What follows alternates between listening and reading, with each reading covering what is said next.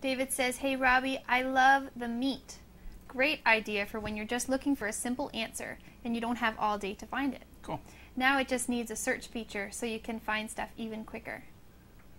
Is that in the future? Oh, okay. Uh, actually, there is a search feature already. Um, everything on our website is searchable.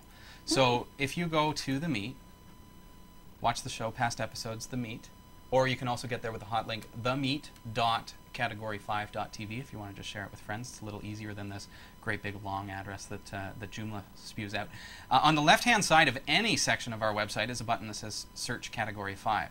So in the case that you're searching, like to search specifically for the meat, um, you could do it if you typed in the meat, because then it's only going to give you results that contain the meat. But essentially, it's going to search every document that's on our website. So anything that's applicable uh, within Category 5.tv, it's going to come up there, including uh, the stuff that's in the meat. So, and maybe we'll eventually give you the opportunity to only search specific uh, portions of our site. But at this point, I don't think it's quite necessary because the results are quite relevant. Right.